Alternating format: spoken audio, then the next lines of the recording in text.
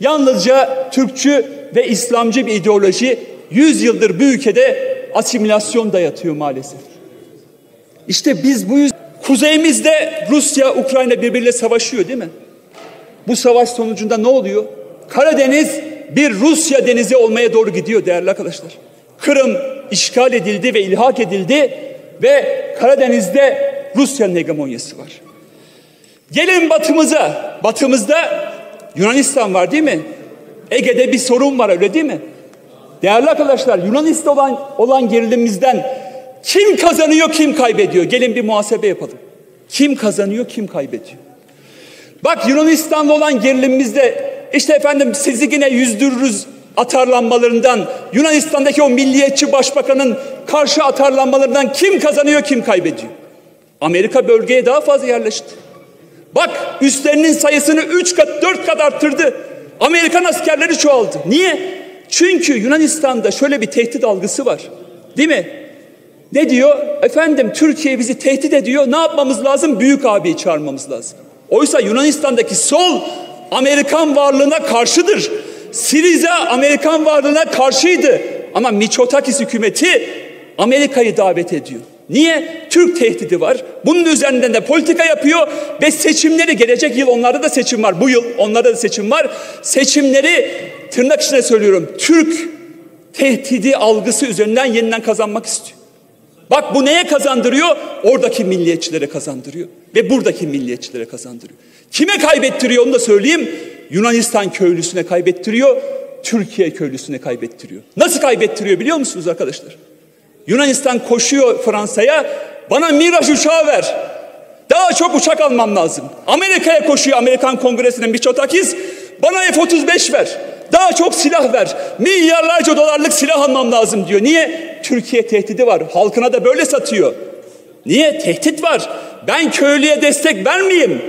Ben oradaki işçiye destek vermeyeyim. Daha çok silah almam gerekiyor diyor. Ne oldu? Yunanistan köylüsü kaybetti. Burada ne yapıyoruz?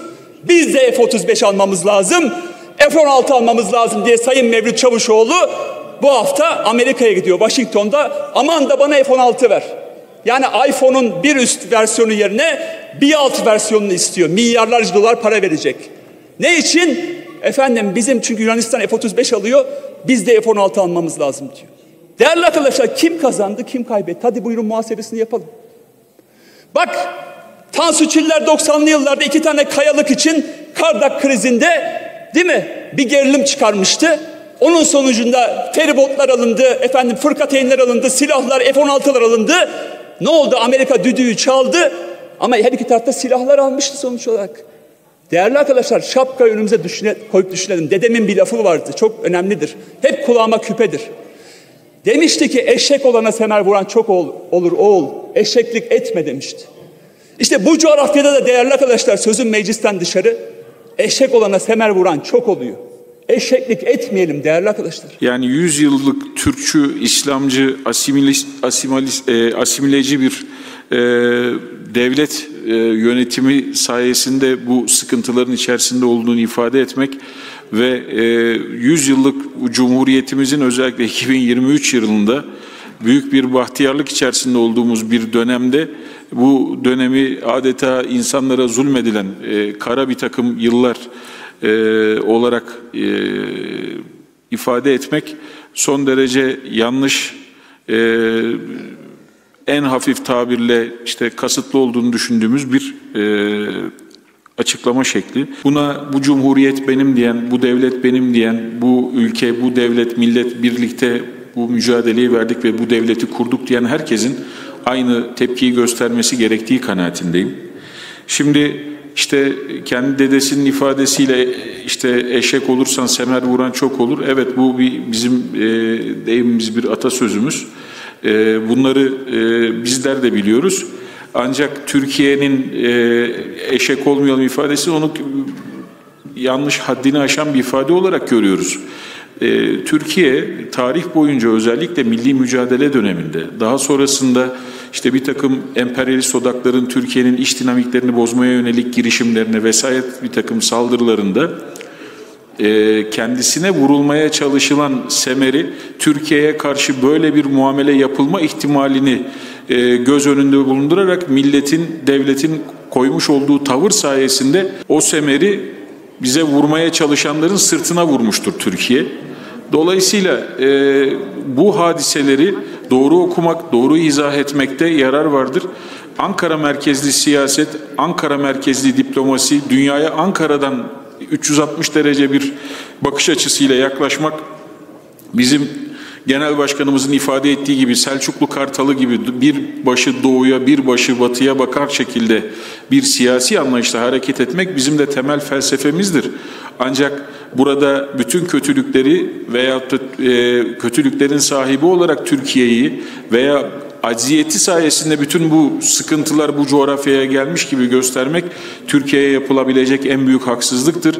Türk milleti bu coğrafyada e, e, etrafındaki bütün devletlerde ve milletlere nazaran en fazla son 100 yılda en fazla kırıma uğramış, en fazla kıyıma uğramış, en fazla acı çekmiş bir millet olarak hala e, kurmuş olduğu devlette ve Anadolu coğrafyasında etrafına da faydalı olacak adalet ve merhamet duygularıyla yaklaştığı bir süreçte güçlü olmaktan başka bir çare olmadığını idrak etmiş, bağımsız siyasetin, bağımsız politikanın, insan merkezli bir diplomasi anlayışının ancak güçlü, kudretli ve hiçbir şekilde gücü tartışılmayan caydırıcı bir ülke olmakla mümkün olduğunu görerek bu yolda hareket etmektedir. Dünyanın kuralının bu olduğunun farkındayız. Fakat Türkiye'nin bu yönde kapasitesinin artması, bu yönde gücünün artması anlaşılıyor ki dostane sohbetlerde e, konuşuyormuş gibi gözüküp de bundan çok ciddi rahatsızlık duyanları görmemize sebep oluyor.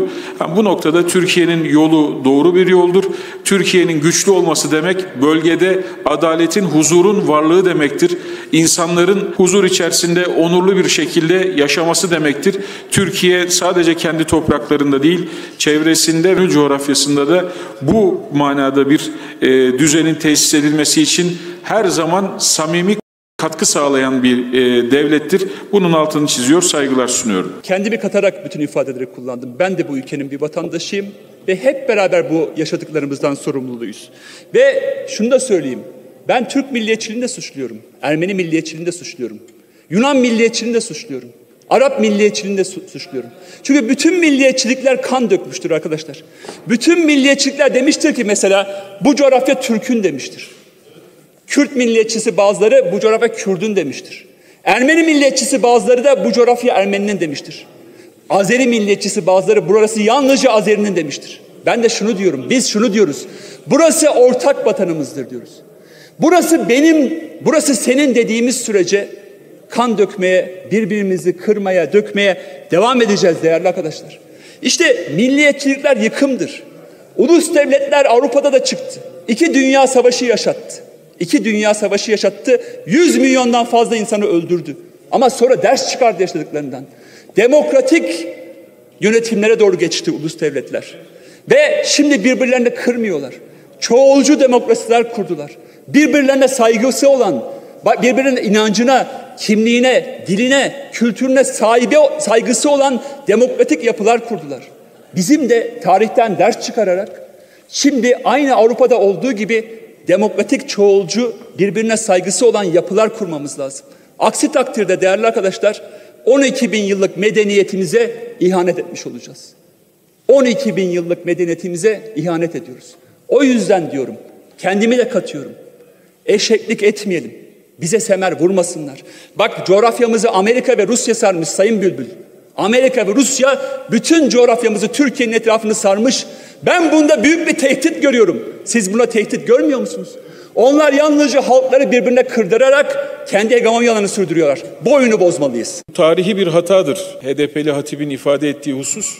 Ee, bir sefer Türkiye Cumhuriyeti kuruluş felsefesinin içerisinde milliyetçilik vardır. Bugün Cumhuriyet Halk Partisi'nin de altı okundan bir tanesinin de e, milliyetçilik olduğunu biliyoruz. Milliyetçilik sadece e, bir partiye veya siyasi anlamda bir güruha hasredilecek, ona, onunla sınırlandırılacak bir husus değildir.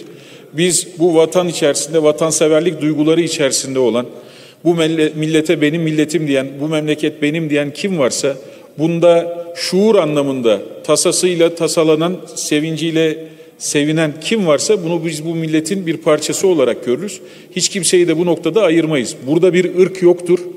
Burada bir mezhep yoktur. Burada bir etnisite yoktur. Bu sosyolojik anlamda zaten çok uzun yıllardır tarif edilmiş bir hadisedir. Bizim milliyetçiliğimiz, bizim milliyetçiliğimiz batıda, kaynağı batıda olan ve kan ve gözyaşından ibaret buna sebep olan ırkçılıktan başka bir meseledir. Irkçılıkla milliyetçiliği e, karıştırmak, birbirine karıştırmak da çok büyük bir sıkıntıdır. Şimdi e, Türkiye'nin milli anlamda değerlendirdiği, milli anlamda bir devlet kurduğu bir ortamda geçmişte Ermeni çetelerinin yapmış olduğu Ermeni çeteciliğini, Rumların yapmış olduğu çeteciliklerden bahsedersek bunlar birbiriyle bağdaşır hususlar değildir. Şimdi kan ve gözyaşı yaşatan, getiren hususlar bunlardır. Türk milletinin nerede bu anlamda kan ve gözyaşına sebep olduğunu söyleyebiliriz. Bu noktada Türk milletinin hakkını da herhalde teslim etmemiz gerekiyor bu hususta. Şimdi Avrupa devletleriyle alakalı yapmış olduğunuz değerlendirme Avrupa'ya özenme veya Avrupa'yı bu noktada bir model alma ise ayrıca bir e, sıkıntı olarak biz değerlendiririz. Ankara merkezli bakışın Avrupa'yı bu manada değerlendirmesi büyük bir sıkıntıdır, büyük bir yanlışlıktır. Zira Avrupa bugün dünyada Fransa'sından İngiltere'sine, Hollanda'sına, İspanya'sına Avrupa'da dünyanın emperyalizmin tarihi eğer yazılacak olursa bunu Garopaylan da çok iyi bilir. Fakat nedense konuşmaz. Eğer bunun tarihi yazılacak olursa sadece başkentlerden bahsetmek değil, onların kendi aralarında kurdukları aldatma olan o demokratik düzenin başka insanların kanı ve gözyaşı üzerinden, onların varlıkları üzerinden tesis edildiği şerhini düşerek bunları anlatmak lazım. Bu noktada bu noktada e, bu özelliği ortaya koy bizim model olabileceğimiz, bizim model alabileceğimiz şey bizim kendi değerlerimizdir, medeniyet değerlerimizdir. Bu medeniyet değerlerinin içerisinde Ermeni kardeşlerimizle, efendime söyleyeyim Rum kökenli kardeşlerimizle, Müslümiyle, gayrimüslimiyle bu memlekette, bu, bu coğrafyada tarihsel anlamda paylaştıklarımızın hepsi mevcuttur. Bunu dışlayan veya onun dışında bir başka yaklaşım getiren kimse yoktur.